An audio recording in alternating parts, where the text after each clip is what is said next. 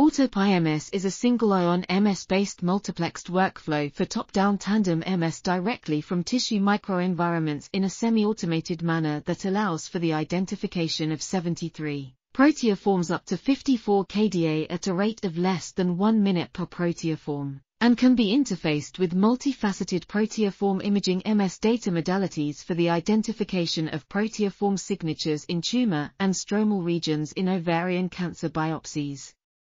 From a total of 1,000 proteoforms detected by region of interest label-free quantitation, AutoPiMS discovers 303 differential proteoforms in stroma versus tumor from the same patient, with 14 of the top proteoform signatures corroborated by MSI at 20 micron resolution, including the differential localization of methylated forms of CRIP1. This article was authored by John P. McGee, Pei Su, Kenneth R. Durbin, and others. We are RTCL.TV, links in the description below.